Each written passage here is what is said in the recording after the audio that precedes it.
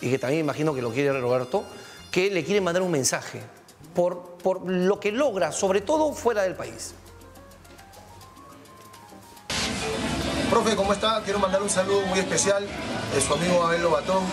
Te admiro por todos los logros que, que vas teniendo, el día a día que va confirmando todo lo que sabes y, y tú eres el ejemplo a seguir. Por, eh, porque profeta en su tierra y tú has demostrado la capacidad que tú tienes fuera de nuestro Perú, fuera de, nuestro país. Y muchos logros para ti en este 2020 y espero muy pronto juntarnos y tomarnos un café y aprender un poco más de ti. Éxitos.